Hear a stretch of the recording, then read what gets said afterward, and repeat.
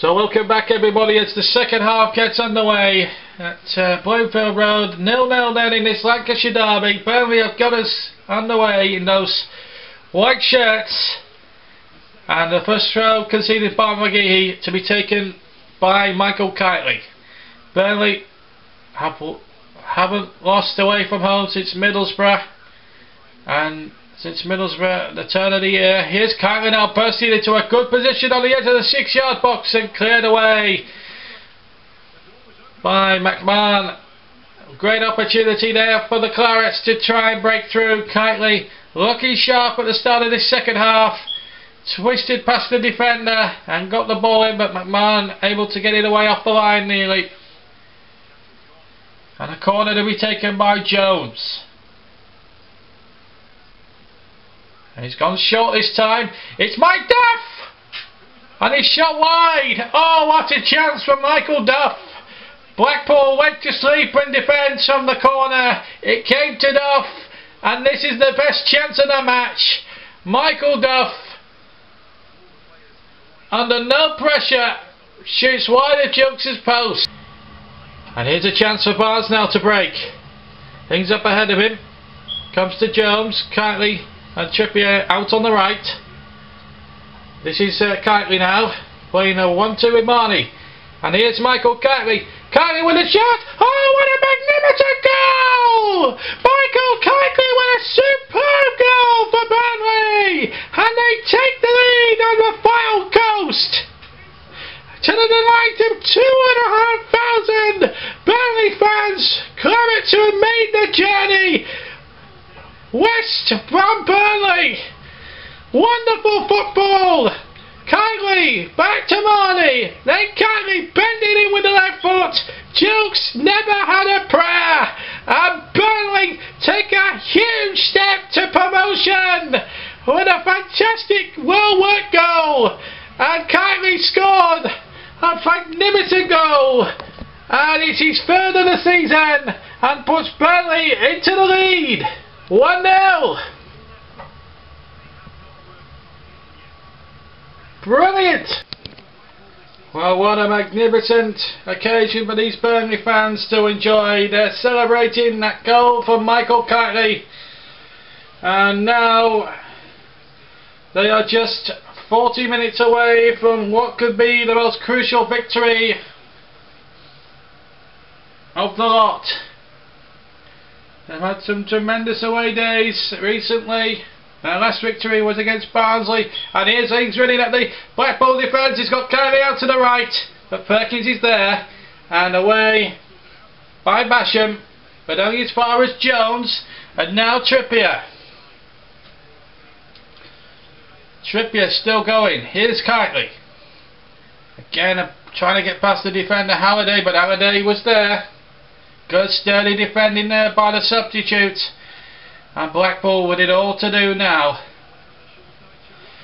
They played five minutes into the second half and Blackpool stunned silence. Burnley fans delu uh, in delirium. Kightly wanted a three kick. This is the goal again and what a goal it was. Beautiful and the Burnley fans really making themselves heard. There are 16,000 I believe inside the ground and there are tennis balls being thrown on the field. This is not going to help anybody here. Objects being thrown on the uh, field by Blackpool fans unhappy and the protests have been made at Owen Oyston. There's a banner just going through there demonstrating that particular fact and this isn't helping anybody. These fans, what do they think they are doing? There is unrest. It's not helping anybody. It's not helping the referee, the 22 players on the field. And it's if it's a court of time wasted to try and get a point out of this, it's called gamesmanship. I don't like it at all. And Barry Ferguson is incensed by it all. I can well, Blackpool have every right to vent their frustration, but not during the match by throwing objects onto the field. This is disgraceful. There is a time and a place to make protests. That is before or after the match. It'll help Burnley in one sense because it wastes time and well that's the point they're trying to make. Make it like that. Don't throw tennis balls on the field of play and disrupt the influence of the game. And Burnley have been on top in the game and that sort of interrupted the flow. And it's not good for everybody. So and here's Almond Almond again trying to find uh, Bishop what a second half we've had here so far we've only played 10 minutes of it. Here's Basham's cross, nodded away. Ferguson. Well, the Blackpool fans have not won many throws up and down the land. There is no unity at all at Blackpool Football Club. No unity at all. And it's been like that for weeks, actually. That's going to be a corner kick. And the Blackpool fans must get behind their team, but there's just no unity at the place at the moment. they have a corner though, and uh, McMahon will take.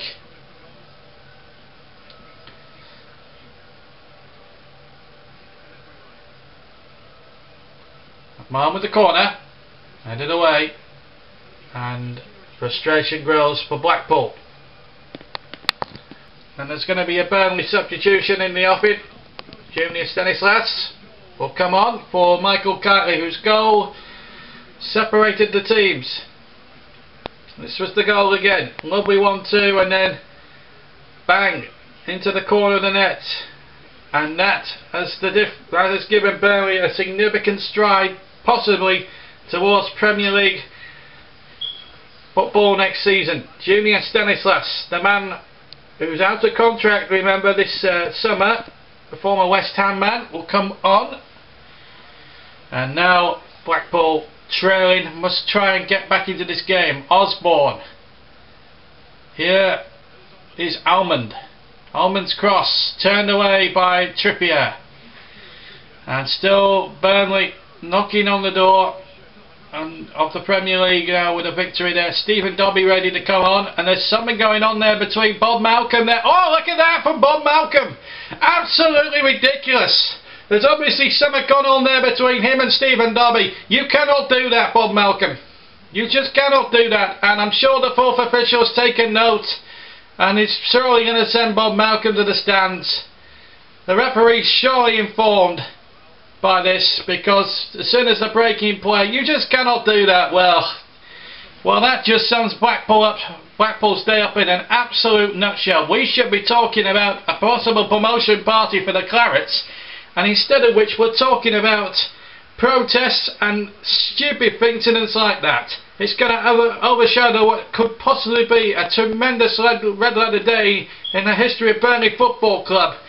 Here's the crossing from Bishop. Let's just get back to the game for a second. McMahon to Bishop. Osbourne on the chase. And Jones concedes the corner. And Isaiah Osbourne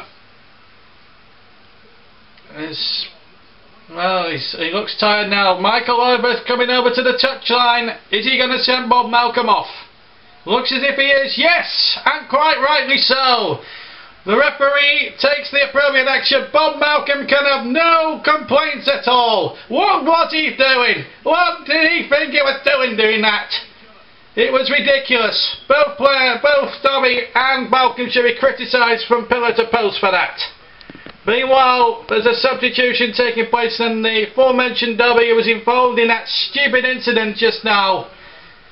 It's going to replace Isaiah Osbourne, who's looking very jaded and very tired. And it just proves, well, he doesn't see any after effects, but Bob Malcolm. Well, Barry Ferguson must be seething. He's asking for calm now.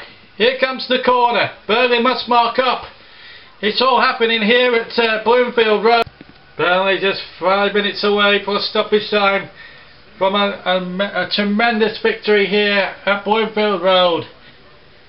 They've just got to hold on in there. They defended very competently.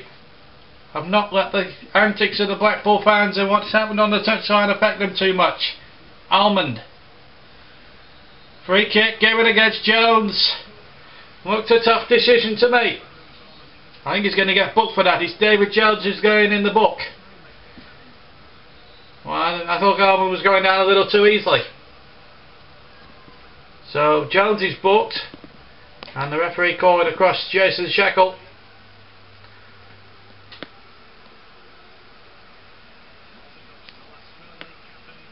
Just say no more of that please. Three kick to Blackpool. Burnley have got to stay on their metal defensively. They can't afford any mistakes. It's now or never. As far as the Clarets are concerned, and as far as Blackpool are concerned, they need the win for obvious other reasons.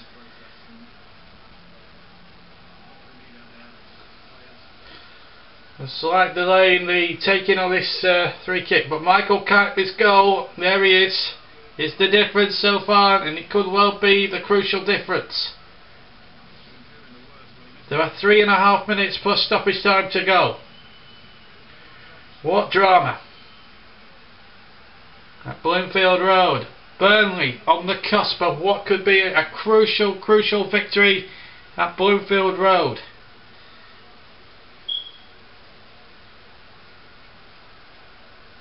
It's been a dramatic game, it's not been a pretty game, but it's been dramatic. Ferguson whips the three kick in. Again, terrific defence there from Shackell and Duff. And they haven't given all away at the back. In comes the cross from Perkins. The ball comes out. There's the shot charged down. And here's Danny Ings on the break. And now this could be danger for Blackpool. And this could be promising for Burnley. But Ings has conceded a free kick. Well, Danny Ings has been a little bit frustrated. Sean Dyche and his team on the cusp of greatness here.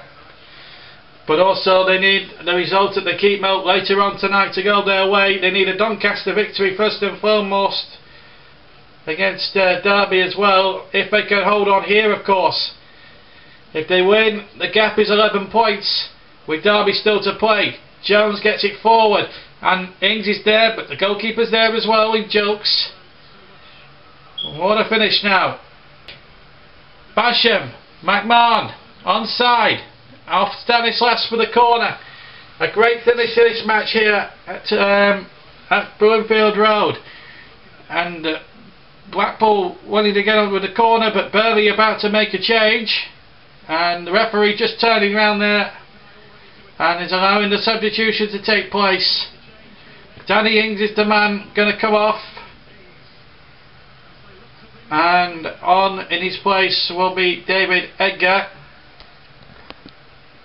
Danny Ings just shaking the hand of the referee and gets a good applause from the Burnley fans. Still stuck on 25 for the season.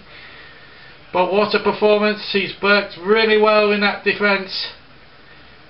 And now he's worked really hard defending and attacking today. No reward for Danny Ings today but David Edgar will take his place no doubt about it and Edgar, as a defensive minded player, will come on now and add a bit more steel to that Burnley back line. Corner to be taken by McMahon. Into the danger zone. Headed away by Shackell, but only as far as Halliday who shoots. And what a tremendous clearance off the line by Trippier! Oh, what a clearance that was! Kieran Trippier has probably won Burnley the game! What a tremendous goal line clearance! One of the best I've ever, ever seen! We played 20 seconds over the 5 minutes and really, really Sean Dyche's side have got their just rewards, surely.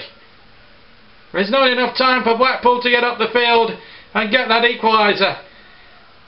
McGeehee just knocks it forward. Stanislas wins the header. That should do it. The referee checking his watch, puts his whistle to his mouth and blows it for the final time. And Sean Dyche's side are on the cusp of greatness. They have battled and battled and battled and got what they deserved. A truly, truly remarkable 1-0 victory. Puts them 11 points clear of Derby, with Derby still to play, remember. But what a result that is for Burnley Football Club. The goal in the 47th minute, the 49th minute rather, from Michael Kightly, a tremendous goal, having played a 1-2 with Marney. And Burnley go 11 points clear with Derby still to play. Full time at Bloomfield Road. Blackpool nil, Achievement Burnley 1.